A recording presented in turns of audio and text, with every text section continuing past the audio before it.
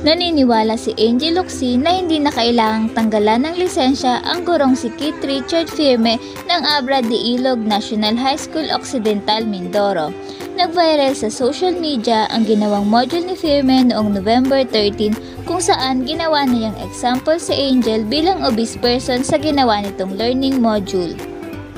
Sa pakikipagpalitan ng komento ni Angel sa isa niyang follower sa Instagram noong linggo, November 15, sinabi ng 34-year-old actress na hindi na kailangang dumating sa ganoong punto ang sapiti ng guro. Ayon sa isang netizen, hindi ba unethical ang ginawa ng teacher na yan which I think is enough reason to revoke his or her license. At tugon nga ni Angel dito, hindi na kailangang umabot sa ganoong punto. Isang netizen na nagpakilalang public school teacher ang nagkomento sa post ni Angel sa Instagram ukol sa apology statement ng Department of Education.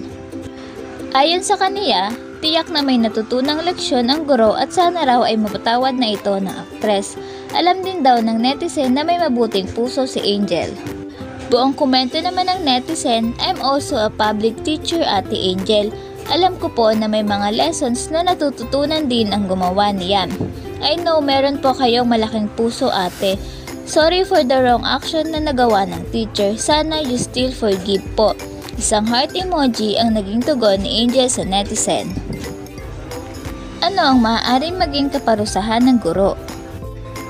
Sabi ni San Antonio, there will be an administrative process that will be initiated and appropriate sanctions for that specific misstep of the teacher will be imposed after due process. Bahagi din sa pahayag ng DepEd ang paghingi nito ng paumanhin sa aktres.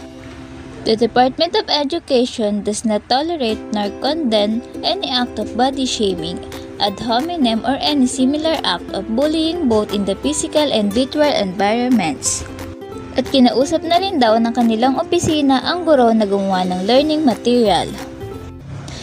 And that's it for this video. Thank you for watching. For comments and suggestions, please comment down below and don't forget to subscribe to my channel.